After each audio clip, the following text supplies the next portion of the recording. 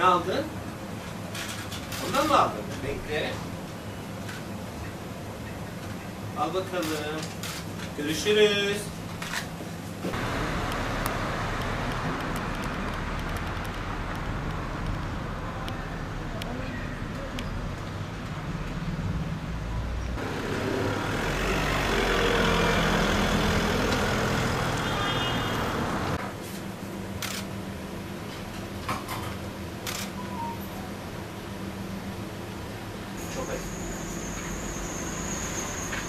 Bomba gibi.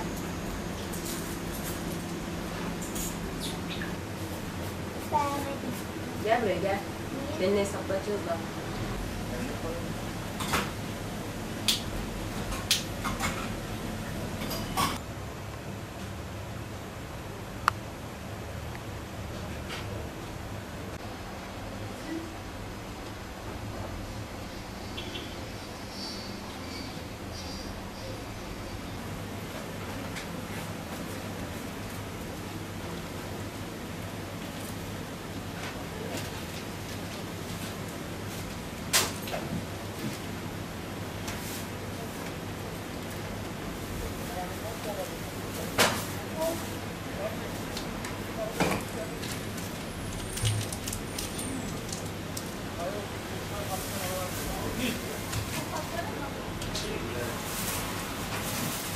Şu an zaten tüm halkımızda da bu var, ülke genelinde var. Herkes eskiye dönük yaşamayı daha çok seviyor. Çünkü o zamanlar çok daha herkes mutluydu. Niye? Yoktu.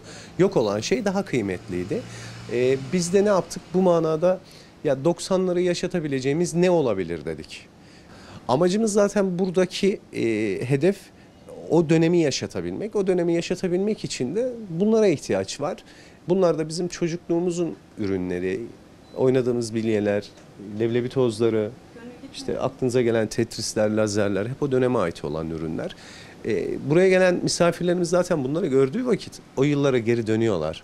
O yıllara geri dönünce de hepsi çok mutlu oluyorlar. Şu an sizin mutlu olduğunuz gibi. Yeni dönem çocuklar bunların hiçbirini bilmiyorlar. Aileler, e, bizim hedefimiz zaten anne baba.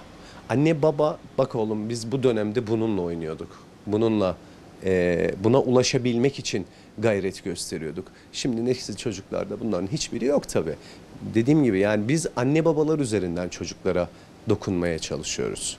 Onun için de 90'lar bakkalımız var. Biz bir kısmı zaten hali hazırda var olan ürünlerde. Diğerlerini de zaten e, biz burayı açtıktan sonra buraya gelen misafirlerimiz getirdiler. Dükkanın çoğu zaten hediye.